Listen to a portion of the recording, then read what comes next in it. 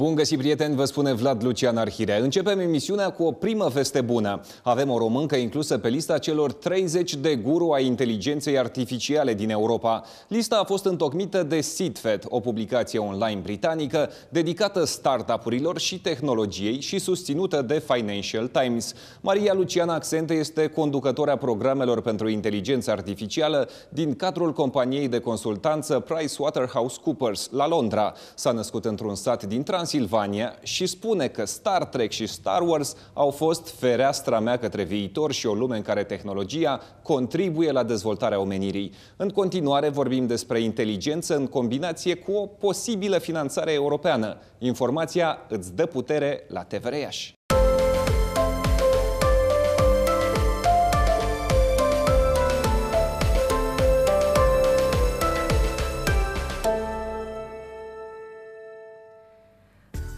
European a lansat primul fond european de investiții pentru inteligență artificială și blockchain în valoare de 400 de milioane de euro pentru a stimula plasarea de capital în startup-uri și scale-up-uri digitale.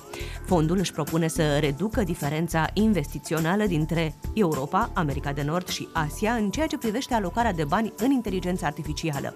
În timp ce în Europa investițiile externe în acest domeniu au totalizat între 3 și 4 miliarde de dolari în 2016, în Asia s-a ajuns până la 12 miliarde, iar în America de Nord la 23 de miliarde de dolari.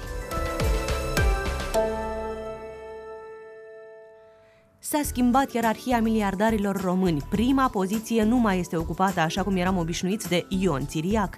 Oamenii momentului sunt frații Dragoș și Adrian Pavel din Bacău, deținătorii Dedeman. Averea lor este estimată la aproape 2,1 miliarde de euro. Mai nou, frații Pavel vor să investească în fotbal. Primul pas, construirea unui stadion în Bacău de 25.000 de locuri în valoare de 25 de milioane de euro.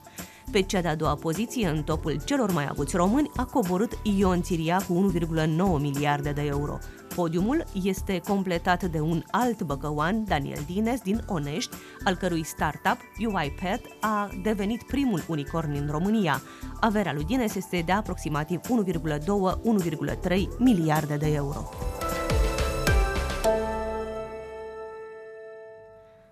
Aplicația de învățare a limbilor străine Duolingo, prezentă și în România cu serviciile sale de educație, susține că a ajuns să valoreze 1,5 miliarde de dolari după ce a primit o nouă finanțare de capital de risc din partea fondului de investiții al Google. În cei 8 ani de existență, Duolingo a obținut investiții de peste 138 de milioane de dolari. Printre investitori s-a numărat și actorul Ashton Kutcher. Și români au făcut o aplicație de învățare a limbilor străine care s-a extins la nivel internațional, Mandly. A fost înființat în 2013 la Brașov de frații Alexandru și Tudor Iliescu. Zeci de milioane de utilizatori învață 33 de limbi cu ajutorul Mondly, folosind inclusiv tehnologii de realitate augmentată și realitate virtuală.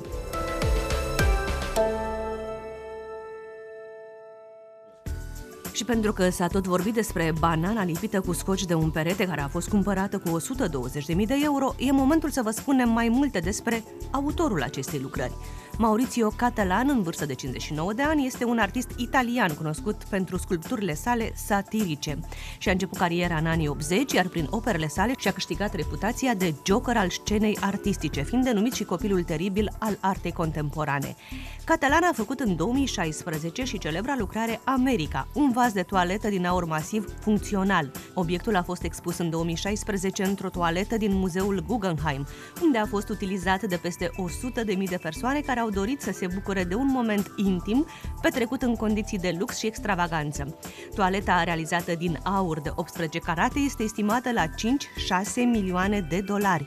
În septembrie anul acesta, lucrarea a fost furată de la o expoziție de la Palatul Blenheim din sudul Angliei. Este prezentată ca fiind o operă egalitaristă de către artistul iconoclast.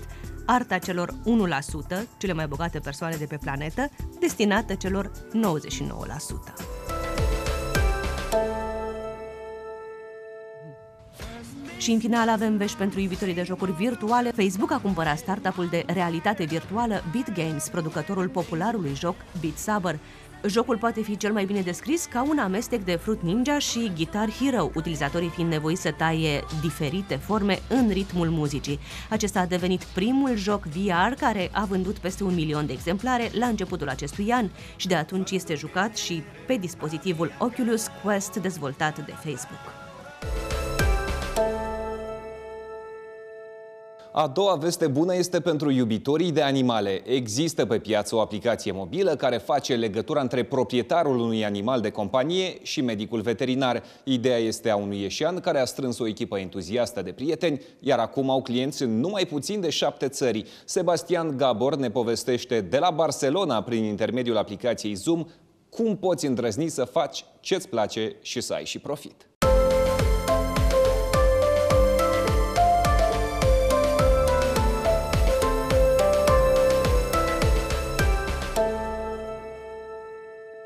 Un carnet de sănătate digital pentru animalele de companie. Aceasta a fost ideea unor români care în urmă cu 2 ani și-au propus să cucerească lumea cu aplicația lor. Inițial au convins mai mulți suedezi care au investit în afacere peste 220.000 de euro.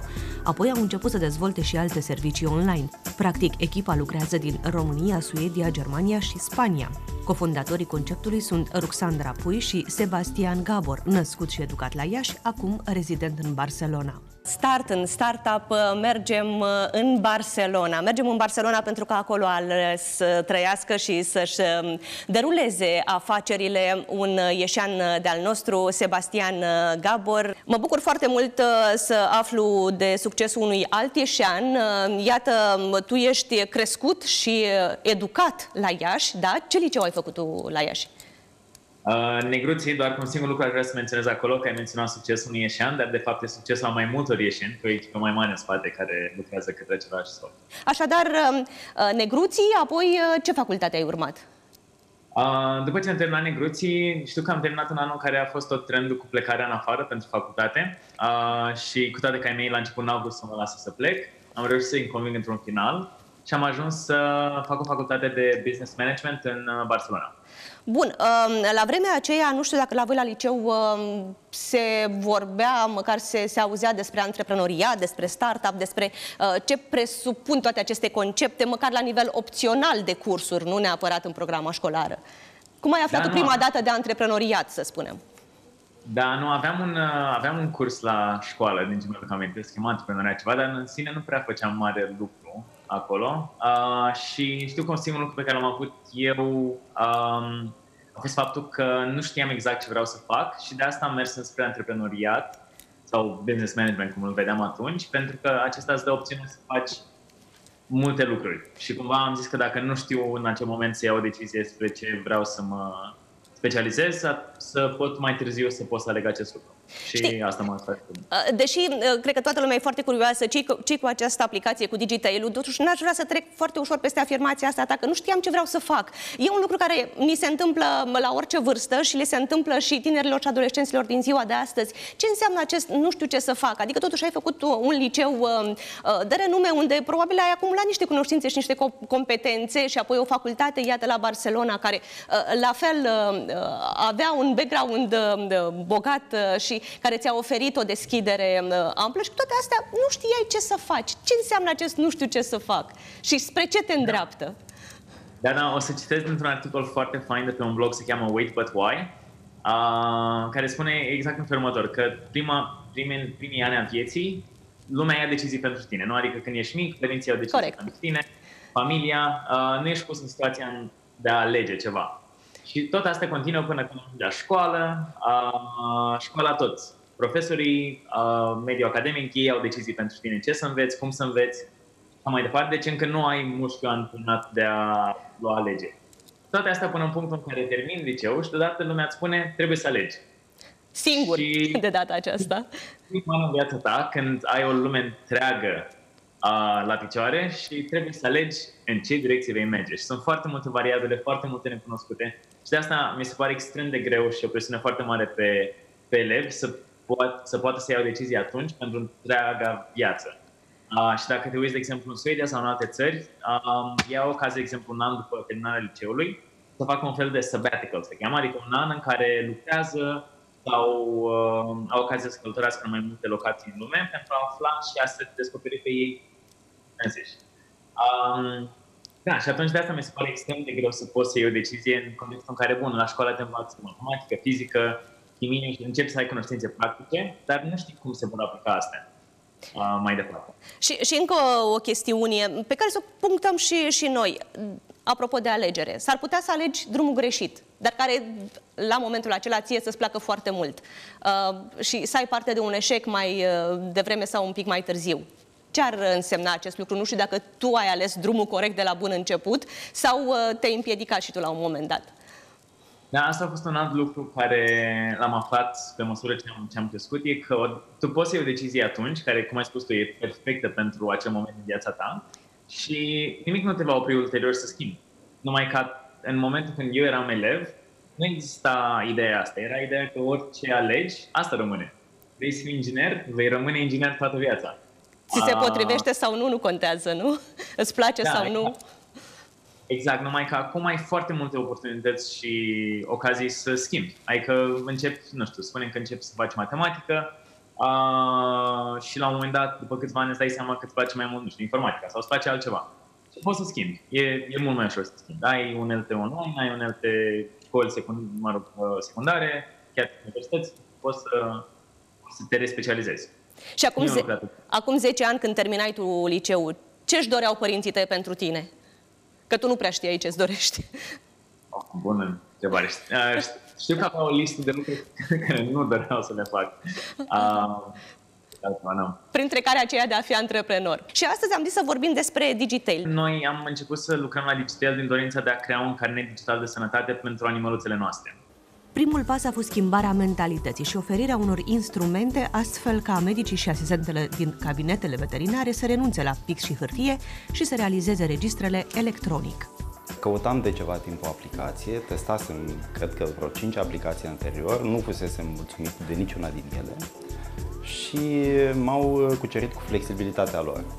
Mi-au uh, propus să încerc aplicația și mi-au demonstrat în mai puțin de o oră că pot face ceva ce eu am nevoie ca ei să facă și nu era înainte uh, o opțiune a aplicației. Noi aveam nevoie de un uh, sistem de management al cabinetului cu intrări, ieșiri, produse, uh, pacienți, fișe pacienți, istoric al tratamentelor. Dacă până la apariția aplicației introducerea unui caz dura peste 20 de minute, acum se face de 4 ori mai rapid. Pe lângă organizarea mult mai eficientă a bazelor de date, se menține permanent legătura cu clienții care pot descărca aplicația gratuit pe Android sau iOS. Există însă și o condiție, cabinetul veterinar la care merge proprietarul animalului să fie partener în această aplicație. Noi ajutăm deci în, în agregarea datelor, să ai toate datele medicale într-un singur loc, să poți să primești notificări de când urmează următorul vaccin, când urmează următoarea de parazitare, ca să poți, practic, venim în ajutorul proprietarului să aplice cele mai bune practici pentru a Și în caz, de, în caz de urgențe? În caz de urgențe, recomandăm în continuare să sunăm doctorul veterinar. e ce mai bine, dar în schimb, pentru orice altă vizită se poate face o programare direct din aplicația mobilă. Cu cine te-ai aliat în, în acest proiect? la început am avut o altă structură de, de echipă. eram trei oameni atunci când am, am început proiectul.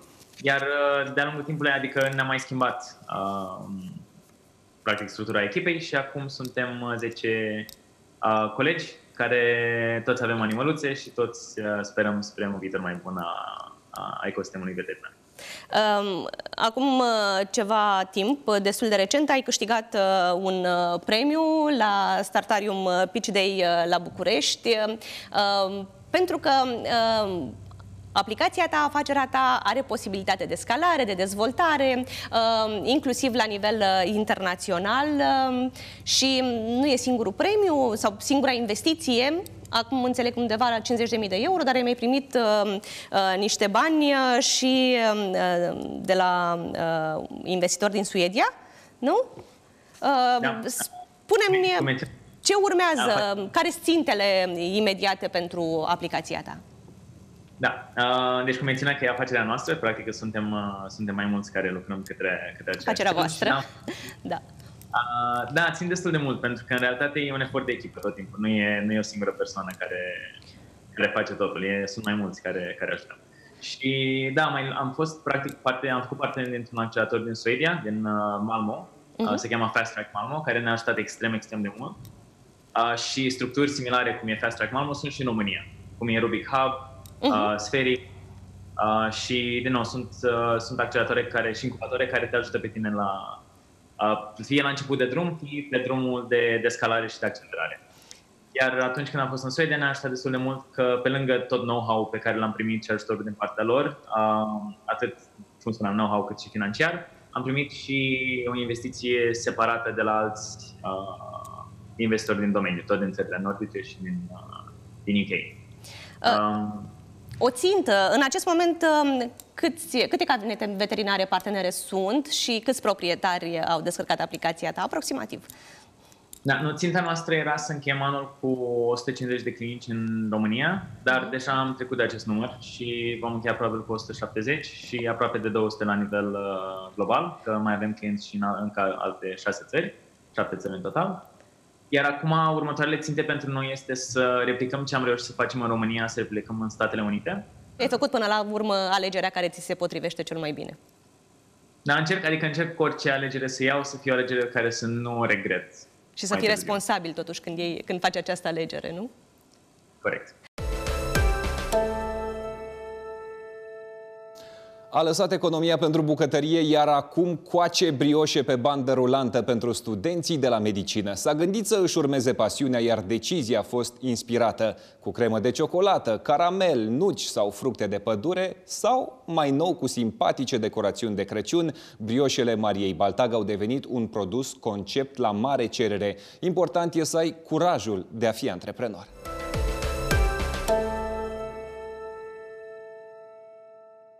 Decorațiunile sunt, uh, după cum se vede, cu brăduți, fulgi de nea, uh, candy cane, um, uh, sparkles și zahăr colorat. Culorile folosite sunt obținute în mod natural, cea roșie fiind, de fapt, o pudră de sfeclă, iar cea verde este spirulină, pudră de spirulină.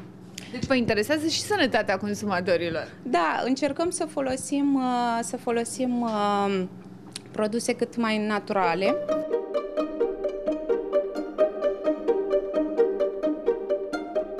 Brioșeria este căutată de amatorii de dulciuri de casă, studenți sau clienți atrași de fotografiile de pe rețelele de socializare. De Crăciun ce ați pregătit? Uh, am pregătit șase rețete noi. La noi populare este cutia de șase este cea mai vândută.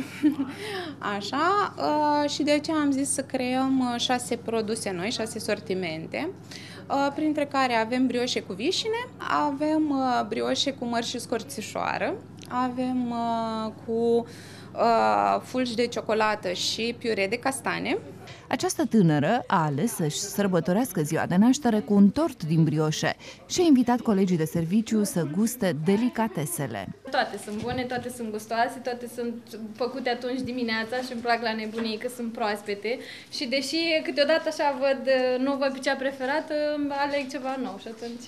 Vites? Uh, da, cam de două, trei ori pe săptămână, în funcție de când vreau ceva dulce, de obicei fiecare zi, da. Cu e dieta. mai sănătos.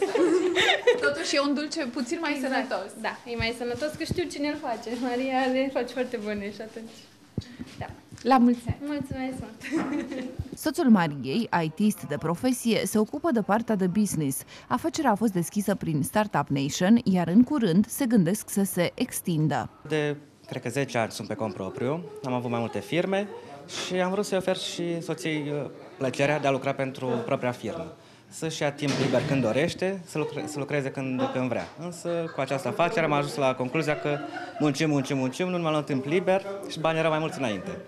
Dar cu timpul uh, ne dezvoltăm, venim cu plăcere în fiecare zi la brioșerie, plecăm un pic mai obosiți, dar merită, fiecare, fiecare brioșă merită. Studenții cum au primit uh, acest concept? Uh, foarte, foarte bucuroși la început, foarte doritori de brioșe. Rețin în primele zile că au venit un grup de doi studenți, au cumpărat brioșe, au ieșit afară, după aceea au venit alți doi, că am văzut brioșe, vrem și noi, și după aceea încă o dată, vrem și noi brioșe. Uh, ele sunt un pic scumpe pentru, pentru studenți. Noi folosim doar ingrediente naturale, uh, ridicăm puțin prețul, materia primă este foarte scumpă. Dar uh, observăm, ei vin o dată de, de două ori pe săptămână și mai vin vinerea și o cutie de șase dulci pentru tot weekendul. Brioșele au și variante sărate, vegane sau de dietă, așa cum îi stă bine simpaticei prăjituri, să fie pe gustul tuturor.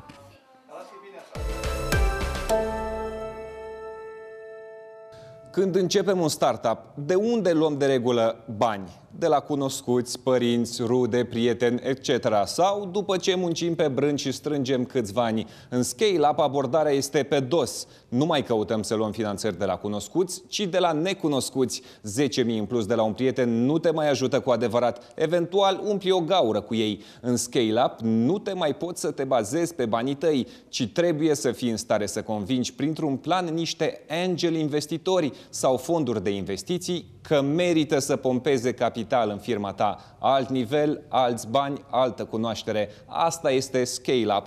Alte tipsuri de la Tal Catran.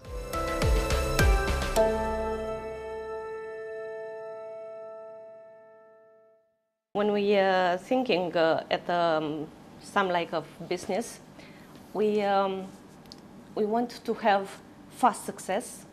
We want uh, to make fast money but uh, success mean it's meaning about money or validated by the market an idea your business. First of all you said it very right. Current generation is different than the older generation. How do i know?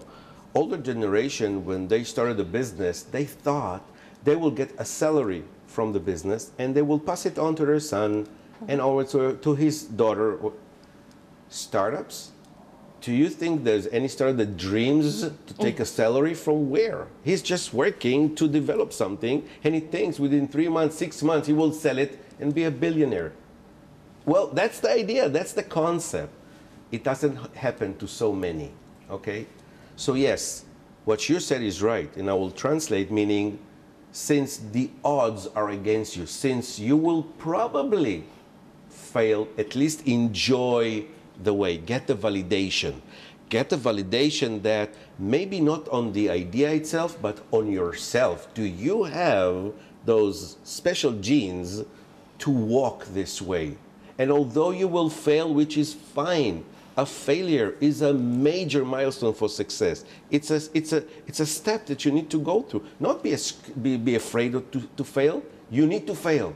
It's a must in entrepreneurship because then you are born stronger, you stand up again, you're a different person, you have more experience, and all of a sudden you find yourself teach others why you failed. I don't know if you know this, there is a conference called FailCon. It's all about failure. You have it here in Romania.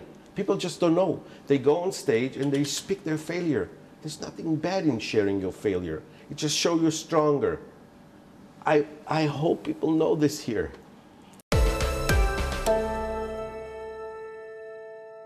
Și încheiem cu o informație de pe piața românească de IT, care va atinge un volum de aproape 6 miliarde de euro până la finele anului. Însă aproximativ 80% din vânzări se fac spre export. Numărul de angajări în firmele IT din România crește anual cu 10%, deși continuă să fie sub nevoile din piață. Asta arată Asociația Patronală a Industriei de Software și Servicii. La nivel geografic, Bucureștiul contribuie cu 63% dintre venituri, iar celelalte regiuni importante sunt nord-vestul cu o pondere de 18%, vestul cu 7%, zona centrală cu 6% și nord-estul cu doar 5%. Se pare că avem la ce ne gândi până la următoarea noastră întâlnire sub genericul Startup 100%. Rămâneți optimiști, chiar dacă nu prea avem motive.